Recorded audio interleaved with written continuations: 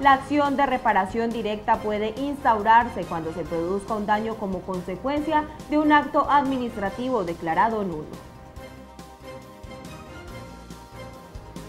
En reciente jurisprudencia, el Consejo de Estado indicó que la responsabilidad extracontractual del Estado puede provenir de un acto administrativo que ha sido declarado ilegal.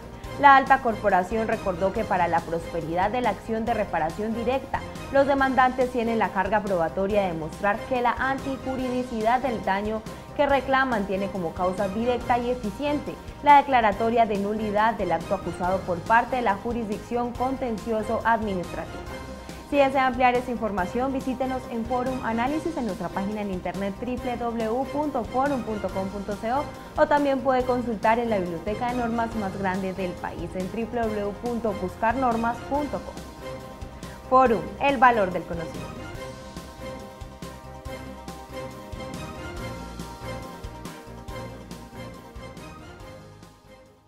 Buscanormas.com es el más completo buscador para abogados, contadores y empresarios de Colombia. Es la mejor herramienta de actualización y consulta donde podrás encontrar la información más relevante de la normatividad nacional de manera rápida, sencilla y confiable. No pierdas más tiempo buscando las normas que necesitas en docenas de libros o páginas de internet.